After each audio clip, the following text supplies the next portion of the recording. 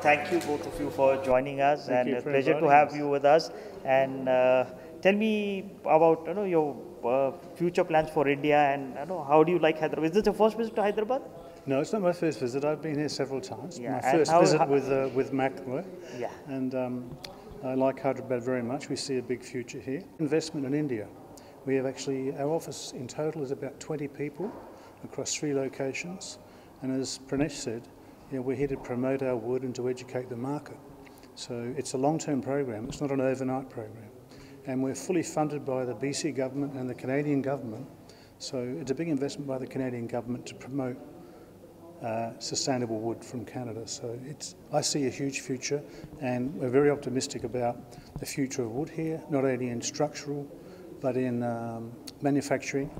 You know, things like doors, door frames, furniture, all sorts of things. Uh, outdoor wood, a big future. So we have a lot to offer. We have five species, and uh, a lot of people on the ground investing their time. Thank you so much for visiting. Looking forward to working with uh, both of you. thank you very thank much. you so much. Thank you. Thank you so much.